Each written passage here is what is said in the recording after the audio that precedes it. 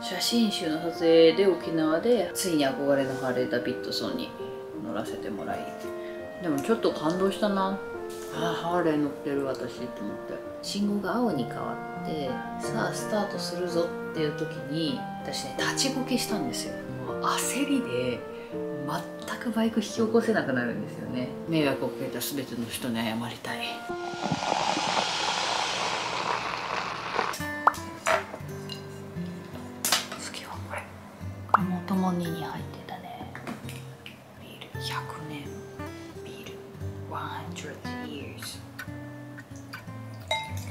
こっちもちょっと濃いめ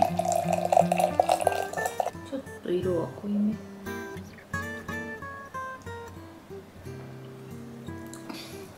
あこっち先だったな。でもいいや。今温めてきた。おつまみたいですはい唐揚げ。娘が唐揚げ好きだから唐揚げ作っとくと間違いないんですよ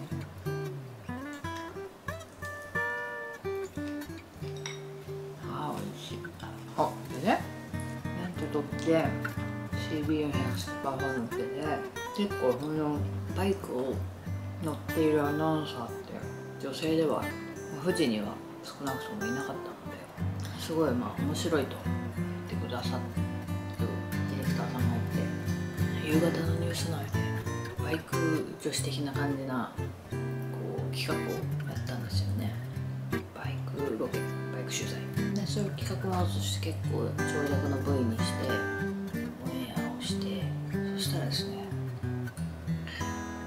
親に内緒でバイクの大型免許も取ったんですけどそのオンエアを見た親がもうひっくり返ってびっくりして慌てて連絡をしてきたと「えやはりバイクの免許取ったの?」まあそりゃそうだよな。びっくりするわな。と思って「あうん取った」って言って。事後報告ですね。そしてやっぱ母親めちゃくちゃまあ父も母もめちゃくちゃ心配して、まあ、今ね私も子供を持っては分かりますけどあそりゃなるべくね本当に危険だから乗らないでほしいっていまだに私母に言われます。けどびっくりしたと言ってたんですけどでも後々実は父に聞いたら父もこっそりバイク乗りだったっていう話を聞いて、まあ、半分血だなと。いうことはちょっと感じましたけどね、まあ、仰天されながらも結構意外とねバイク企画はねニュースジャパンとかのゆるニュース時代も 2, 2回3回ぐらいやってもらってありがたかったですね。でもそのたんびにでもね一回オフロード隊っていうバイク乗るあの警察の部なんかこう部署の訓練みたいなところに一緒に参加してくださいってディレクターさんに言われてそのディレクターさんはバイク持ってない人だったんですけど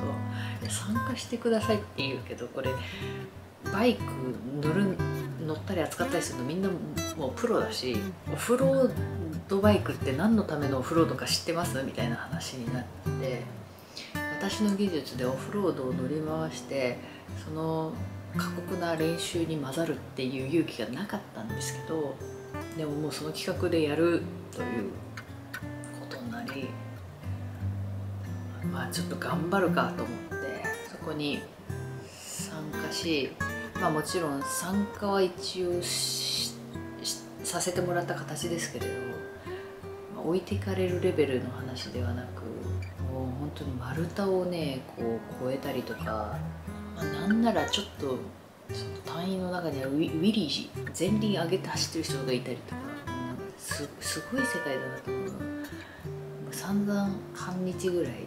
訓練してヘトヘトになって最後にじゃあ今までやってきたことを全部一周コースでやりますって言われてマジか私大丈夫かなと思いながらもうほんと目を白黒させながらですね頑張って最後尾についていって最後ほんと最後の最後川べりの砂利道みたいなのを行くコースだったんですけどその砂利道のところでもうもうハンドル取られちゃってあーやばいやばい全然操作が効かないどうしようってなってこう川川べりのこう道からピューンってバイクごと私が転倒してフレームアウトするっていう一部始終をバイクの免許を持っているカメラマンさんが全部撮っててくれて後からそのカメラの素材を見直したら私がピューンって倒れてフレームアウトした瞬間にカメラマンさんが「あっ」って言って 言っていたっていうそんな取材もありましたね。まあ、あのものすごい低速だったので怪我もせず、ね、無事だったんですけどもうそのフロード隊を教えている先生とかあとその隊員の人とかがものすごい心配してもうバイクをすぐ止めて駆け寄ってきてくれたりしてね迷惑かけたなともひたすら迷惑をかけたなっていう記憶があります。ちょっとディレクターさんと喧嘩になったもんね。マジバイクって危ないんですよっていう話をすごいディレクターさんとした記憶がありますけど、前が頑張れって話なんですよね。私が頑張ってバイクの技術を磨けって話なんです。けどプライベートで言うとねバイク乗ってで当時ねなんと私代官山に住んでたんですね。CB400 スーパー4乗ってた時に代官山住んでてあのね都内の道をああいう、バイクで走るのはすごくこうなんだ一人でツーリングするのはまあ練習も兼ねてと思ってあそこら辺の渋谷区の道をバタしてで最後ほんと戻ってくる時に信号待ちしてて代官山の道もうすぐ家だっていう時に八幡通りかなバーって走ってて信号待ちしてて信号が青に変わってさあスタートするぞっていう時に私ね立ちこけしたんですよ。ちこけっていうのはこうバイクをスタートする時に思ったようにこう進まなくて進まないとそれはバイクは二輪なのでパタンって倒れるわけですよね。でその立ちこけでこうこけそうになってもなんとか自分の力だけでバイクってこう倒れそうになったバイクを引き起こすってすごくもう難しいのでそのままバタンって代官山の超車の通りの多い交差点っていうか道のど真ん中で立ちぼけしておそらくもう私はその時にもう焦りといっぱいいっぱいでもう周りの状況見られなかったし覚えてないんですけどまあ多分渋滞できてますよね。でそこで立ちこけをしていやーってなっていた時にまあでもねそれだけは鮮明に覚えてるのが歩道から分その人もバイク乗りなんでしょうねバイク乗りと思われる男性が2人ぐらいうわってもうすぐ来てくださってで「大丈夫ですか?」って言ってバイクをパッて引き起こして私はもう半ば引きずられながらそしてバイクもこ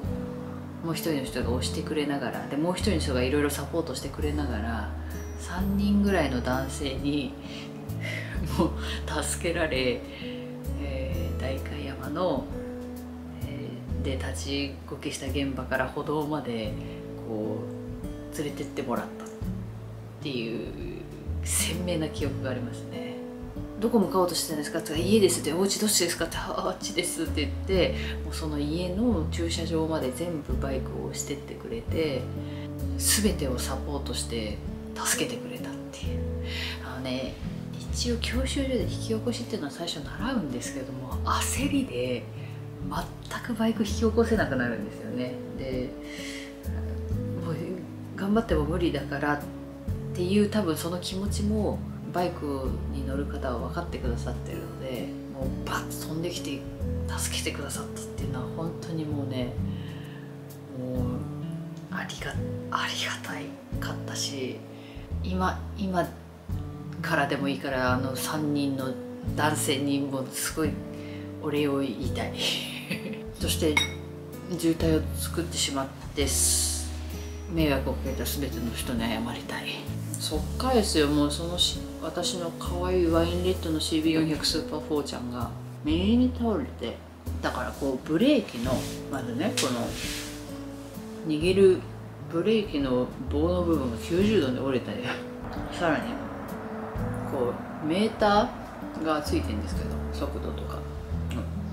うん、でもメーターのカバーがバカッと取れてて極めつけはあのステップ？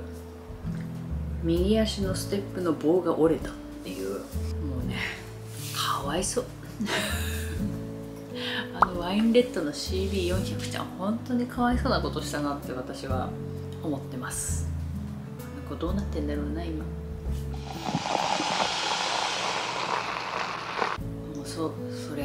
も心配するよ。CB がボロボロになってからもうね結局それはもう二足三門で売ったんですよ。てかよく売れたなって思うんですけど買ってくださる人がいたからよかったっていう感じなんですが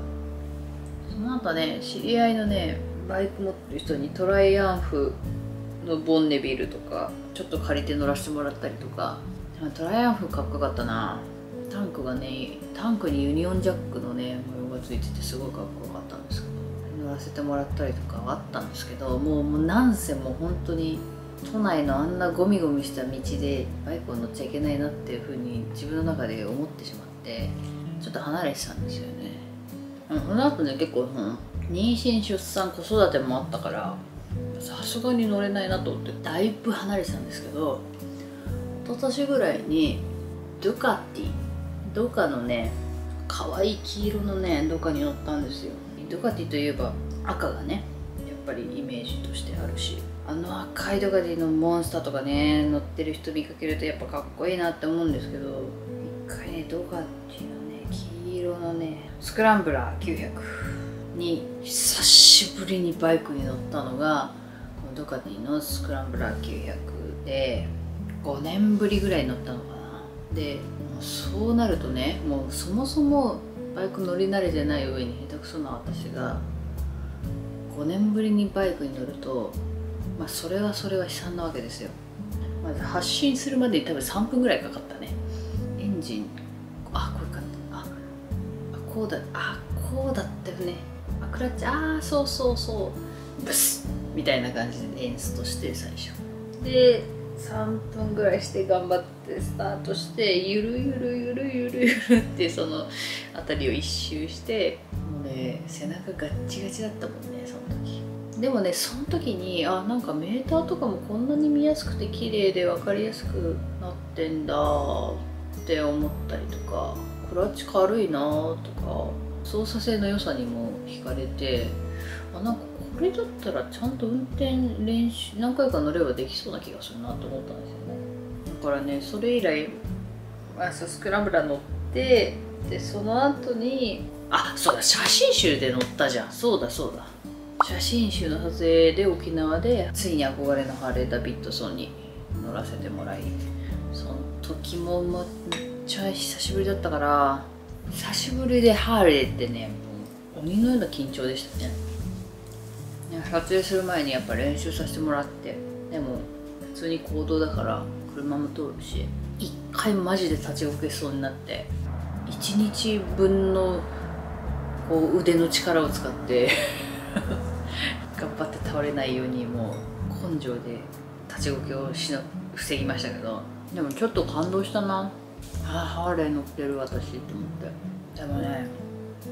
多分走るの遅すぎてカメラマンの西条さんとかね笑ってたと思うな。しかもねその撮影で作ったハーレー君がね結構わがままボーイで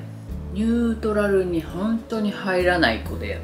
本当にクラッチ握ってる手がプルプルするぐらいニュートラルに入らないとクラッチ離した瞬間にクラッチつながってバーって進んじゃうんですよ。あとブレーキとね。もうねわがままボーイなバイクでしたけどね。まあ最後はちゃんと乗れたけどまあ安全運転だったからハーレーらしからぬこう遅さでしたね。でも多分写真でもそれが伝わると思います。髪あんまりなびいてないしでその後に BS11 のモトライズでその時もでも CB でねに乗らせてもらってなんか年々バイクの操作ってしやすくなってんのかなとかあでやっぱいいいいバイクはいいのかなとかね。それいろいろ考えながらなんかだんだん乗りやすくなってんなっていうのをちょっと感じていて多分ね難しく考えすぎてたのかもしれないですね。乗って気持ちいいしああどっか行きたいなっていう気持ちがすごくムクムクと芽生えているのでそろそろ買いたいんですよね。なんだけど自分のバイク欲しいなでまあもともとはハーレーがきっかけでバイクの免許を取ったからハーレー乗りたいなとは思うんだけど意外と CB 乗ってたぐらいなんでああいうネイキッドタイプのバイク好きなんだよな。そうするとハーレーみたいなアメリカンタイプじゃないなとか思ったりね。うんどういうタイプのバイクが好きかな。全然乗り方違うんですよ。こうこう乗るかこう乗るかってもう姿勢も違えばなんかバイクの幅とか用途とかイメージもそうだし全く違うものだなっていうのは本当に感じるのでだしどんなバイクが合いますかね逆に聞きたいわ。何がおすすめですか皆さん。聞きたいな。よーこいしょどうも。ベランダに逃げたポーです。あポータン5月19日で2歳です。ていうか君まだえ？君まだ1歳なのか。この貫禄で1歳です。これがもう配信される頃にはもう君2歳だね。ポータン2歳おめでとう。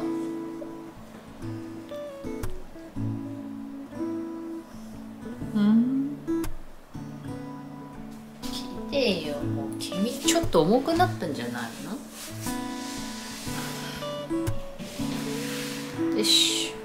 ちょっとお腹壊してたけどさなんか拾い食いした？そして君お腹壊してる時さあからさまにお腹がちょっとシュッとするよね。今もう戻ったけどね。今の安心感のある重さに戻った。重っ。もういった。ほら。ムーです。ムーは7月の25今度の7月でムータンは4歳になります。娘と同い年だ。娘と3ヶ月差だね。だらだらとバイクのことについて話しましたけど今日もいい一日でした。